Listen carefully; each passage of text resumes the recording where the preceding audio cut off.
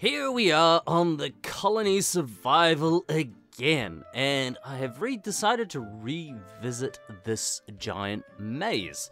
And one of the reasons I looked, is there a better way to actually structure this? So the first build test of the big giant red maze sort of went backwards and forwards, and these guys sort of meander their way on the way to the front, which in some cases actually leads to uh, these guys making into the second half of this big maze. And I had opted for both matchlocks and crossbow guys, which target priority, basically the highest thing they can one shot. And I thought, it's interesting because the crossbow guys only go to about this this level here. They only make it this far before they start shooting. And there's actually a lot of potential where they could be shooting earlier. Now I could possibly move them that way a little bit, but it might mess up my thing. But it ends up means I end up with these extra guys here, and sometimes they even make it through into this back maze. And I'd actually like to get rid of this big giant back maze. And I thought, well, I wonder what would happen if we actually changed the the pattern. Instead of going side to side, could we go back and forth. So what would happen is instead of being outside the crossbow range for like five rows, they would walk this way and be in range pretty pretty quick within the the first thing. Uh, so like here, so they would walk that way, and then they would actually walk back the same way.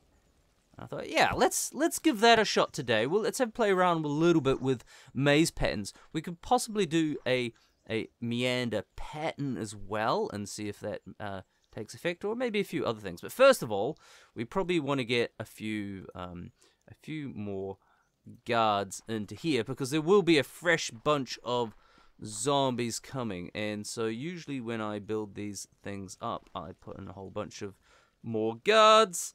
Um, just to sort of make everything work. Otherwise, we end up getting eaten pretty badly by zombies. So let's stick in a couple of matchlocks here. Stick in a couple of uh, couple of matchlocks. Don't worry, they don't shoot each other. They know to they know to duck when they need to. And okay, so that leaves basically filling in this entire pattern. So all I'm going to do for this is I'm going to get um, construction, build, and red. And we are going to build red from there. Ooh, we need to get over to the other side somehow. All the way. Let's go, let's go, let's go. Run over to the other side. And we'll build red over to here. We'll fill it all in, and then we'll actually, what we'll do is we'll just take out. See? See? He's got too far through fact, a few of them have got too far through. I'll put the construction jobs here. I'm sure that won't be um, too dangerous. And fill all that in quickly. Unfortunately, they won't start building until the following day. Because it's nighttime now. They've all gone to bed. Let's have a look. Jump over here. And yeah, so we still get a few leap through. He's trying to path follow to me kind of thing. Um, these eventually do get wiped out by the guards. There's sort of just enough time to wipe out all the dudes. All the dudes. And those construction boys can't get through. They're actually all going to bed, all of them. They're all going to go to bed. So we're going to have to cut until tomorrow. Otherwise, uh, there's not actually much building. I'm going to fill that in. Oh! oh, there's a zombie in here. There's a zombie. Where is he going? Come here, come here, come on. Let's no, no eating. Cool. All right, let's let's carry on. So work continues uh, another day, and these guys are going to fill in the maze, and then we're going to carve out the the new maze. I'm going to try and keep the same amount of guards in the stack here, which are our 20 guards, our uh, 10, 10 day, 10 nights, which breaks down to sort of five night matchlocks, five night crossbowmen, five day crossbowmen, and five day matchlocks. I'm going to try and keep that same level, and what we're trying to get here is reduce the size of this maze by changing the uh, changing the the pattern. So if I can make the maze smaller just by changing the pattern, then I'll be happy. It might be that we need to change our little dudes out a little bit and get a bit of hands. We've got our temporary guards up there. Now they should be filling this out pretty dosh dang gum quick. Uh, how are they going? It seems pretty quick. Pretty quick. I wonder if we can put in a couple more guys in here. Uh, let's let's see if we can fill this out just a little bit more. And boom. And they should fill this out pretty quick. We'll put in one of those there so I don't have to go so far. Uh, can we stick in any more? Let's let's put one here. Oops, I'm gonna need one of them or a stack of them there. There we go, because the constructors need to come and pick up more blocks.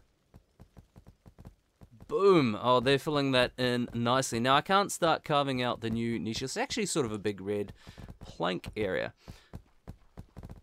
And, oh, oh, oh, I've missed the end part. We actually need that filled in because that's going to be the, oh, far end of the maze. I've fallen. I've fallen and I, I can get up. There we go. Okay, fill that in, and there we go. So that's sort of where the zombies enter. How are we going? Come on, guys. Oh, we've run out of red bricks. Oh, that's because I've got them all. My bad. My bad. Sorry. Sorry, boys. There you go. Finish the job. And they will finish that out beautifully. Beautifully. And they are done. They are done. Right. Okay. So now all we need to do is dig out the areas we don't want, which is going to be uh, construct digger area. And we'll dig that out to there, and we will construct dig that area out to there. So it's got it'll meander around that way. Let's put in a couple of construction jobs and get these guys actually started on their job. There we go. And dig out. This is quite a nice way to just sort of dig out patterns very quick. Oh, we've still got another zombie coming, and that's that's going to be a little bit of a bit of a problem, I think. Oops. Hang on. Uh, can we take him out? Hello. Oh, he's got lots of health. Oh, missed. And boom, he's down. He's down, folks. He's down. Ah, uh, so this will be this is the pattern which we're we're talking about. Out come some more dudes. Construction, uh, dig, and so don't worry, I'm not going to do all these right now, but I'll just do enough just to give you an idea, and then I will. Uh, oops, missed that one. Okay. Sometimes that happens. Sometimes that happens. Ooh, uh, that block there needs to go. There we go. And look, they carved that out pretty dosh, dosh gan dang gum quick. And digger, and hey, wait, I clicked on it. Construction, digger, boom. You got that going all the way here. So, yeah, I'm wondering if this pattern will prove better because it will actually bring in the zombies uh, much, much closer into the area. So I'll I'll carry on. I'll get that built out, and then we'll come back and we'll do some testing to see if that's more effective than the back and forward that we had before. So the backward and forward maze is complete, and I don't actually know if it's any better than the side to side maze. It does work out to be slightly take up slightly bigger footprint than the side to side maze, which is that one there. But I'm still getting a couple of dudes actually getting through. In fact, in some cases, I think this maze is not quite as good as the side to side maze, uh, which sort of leaves me a little bit perplexed as to why that would actually be, given that uh, the zombies are in range of our um, crossbow boys a little bit faster and gun guys uh, for, for a little bit longer. So yeah, I'm not really. Uh, yeah, I'm I'm a little confused with that. So it sort of works out about the same. But anyway, I've got a couple more patterns we could possibly try out. The next one I thought was maybe if we did a little little bit of a wiggle one, a little bit like this, and had them going backwards and forwards. And the reason I thought that could be interesting is I wonder if they actually lose any movement speed when they turn corners. Doesn't look like they do, but it's something I would like to test anyway. And probably the other one I will test is a bit more of a wider version of that to see if we get. So, yeah, um, let me clear out these zombies and I will see if I can get this backwards and forwards maze and we'll see if it makes any actual difference. But at this stage, I'm somewhat skeptical. Well, I've got the zigzaggy approach back in, and it looks so cool. This looks really, really cool. A bunch of zombies zigging and zagging backwards and forwards. It's a bit like a zombie disco rave down there. And I'm actually really happy with how cool it looks, but uh, it didn't really make any difference. Uh, no, it didn't make any difference at all. The zombies are still getting through into this second maze, just like they did in the first and second example, and there's not really any difference. They they go through these corner sections just as fast as they would go through a straight section, which is a little bit of a shame, really, because I thought that would be quite a neat mechanic if they slowed down a bit to go around corners. But they're very much stuck on uh, sort of a fixed walkway, much like the villagers are doing as well. So, yeah, I don't hold much whole hope for the final pattern, which will be a sort of a, a wider version of this, sort of a mix of all three, really. Uh, I'm going to divide this into three, maybe four columns, and they'll they'll cut, they'll go side to side, they'll come forward, they'll go side to side, head back, side to side, come forward. But yeah, it's uh, it hasn't really made much difference. In fact, these guys almost get to the end before the next batch come in. So well, let's let's give this last last ditch effort to see if we can actually curb the zombies. But will it make a difference? Nope.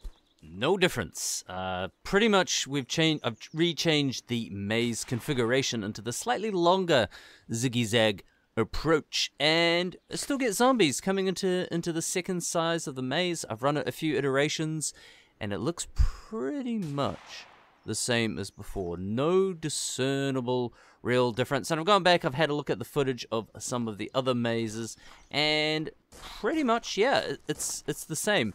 Which kind of makes sense, because it's the same amount of blocks roughly used each time. The zombies move uh, at a fairly consistent speed, although there is some variations. I've noticed after spending many hours watching a lot of zombies, that some of them move faster than others.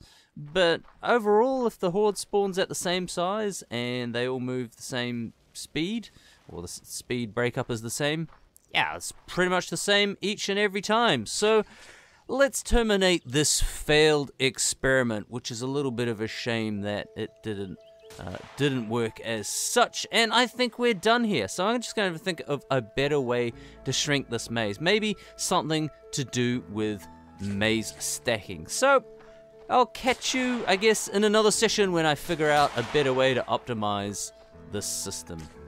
Goodbye from me, and I'll see you later.